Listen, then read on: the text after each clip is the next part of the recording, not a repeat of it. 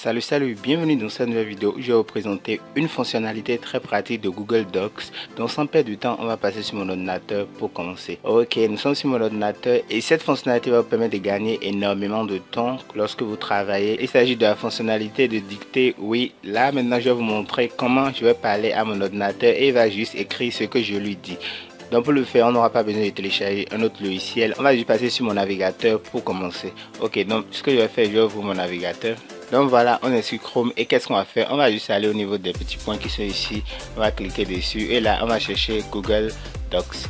Donc voilà quelque part ici, on va juste cliquer dessus. Soit vous utilisez cette méthode, soit il vous suffit juste d'aller dans votre navigateur et là vous tapez juste ici Google Docs. Voilà et vous le lancez.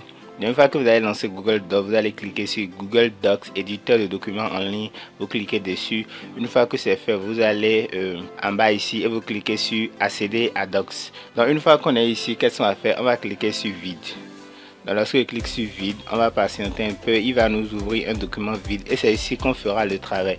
Donc avant de débuter, laissez-moi vous voler un petit j'aime. C'est très important pour moi, likez-moi la vidéo et si vous l'avez fait, si c'est votre première fois sur cette chaîne, n'oubliez pas de vous abonner à la chaîne. Activez la cloche de notification pour ne rien manquer de nos prochaines vidéos. Ici sur cette chaîne, chaque jour on publie une nouvelle astuce et de très bonnes choses. Donc abonnez-vous et activez la cloche de notification pour ne rien manquer de nos prochaines vidéos. Donc une fois qu'on est là, qu'est-ce qu'on fait? On va au niveau d'outils c'est quelque part ici. Donc voilà vous cliquez dessus. Lorsque vous cliquez dessus vous allez on va cliquer dessus.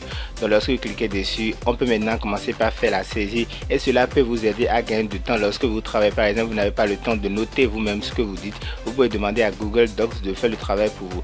Donc comment cela fonctionne? Je vais cliquer sur euh, l'icône qui est ici cliquer pour parler et là on va débuter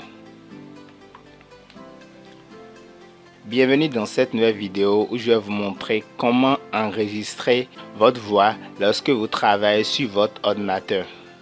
Donc comme vous pouvez le voir, cela écrit ce que je l'ai édité. Bon, il y a une petite erreur. Bienvenue dans cette nouvelle vidéo où je vous montre Bienvenue dans cette nouvelle vidéo, je vous montre, et l'ami ER montre, vous pouvez corriger très facilement euh, les erreurs. Donc voilà comment fonctionne l'enregistrement de voix de Google Docs, c'est très facile comme vous pouvez le voir, cela marche très bien. Et si vous avez envie de changer par exemple la langue de ce que vous avez saisi ou bien de ce que vous avez dit à votre ordinateur, c'est très facile. Vous allez toujours au niveau d'outils, vous cliquez dessus et vous allez chercher... Euh, vous allez chercher traduire le document, vous cliquez dessus. Une fois que vous cliquez dessus, vous pouvez choisir n'importe quelle langue l'anglais, le chinois, le coréen, le danois, plusieurs langues. Donc vous pouvez juste sélectionner une langue en particulier et voilà, et vous allez cliquer sur traduire pour traduire votre document. Lorsque vous cliquez sur traduire, il va vous ouvrir un nouvel onglet où il a fait la traduction de votre test. Donc de cette façon, lorsque vous avez par exemple la flemme de taper sur votre ordinateur, vous pouvez demander à Google Doc de saisir ce que vous dites et là après vous allez apporter des modifications.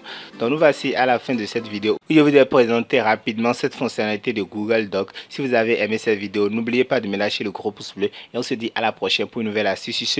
Ciao ciao